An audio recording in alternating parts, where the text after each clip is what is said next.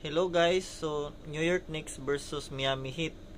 So nanalo yung Miami Heat sa game 1 at natalo naman sila sa game 2 at nakabawi ulit ang Miami Heat sa game 3.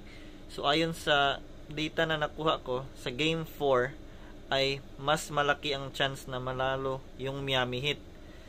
Aminin man natin o hindi, napakagaling ni Jimmy Butler sa playoffs na ito binubuhat niya yung Miami Heat. Natalo nila yung Milwaukee Bucks na number 1 at nasa kanila yung momentum ngayon. So kung kayo ay pupusta, pustahan nyo yung Miami Heat at kapag nanalo kayo, huwag nyo kong kalimutan. Ibig sabihin, mag-thank you naman kayo.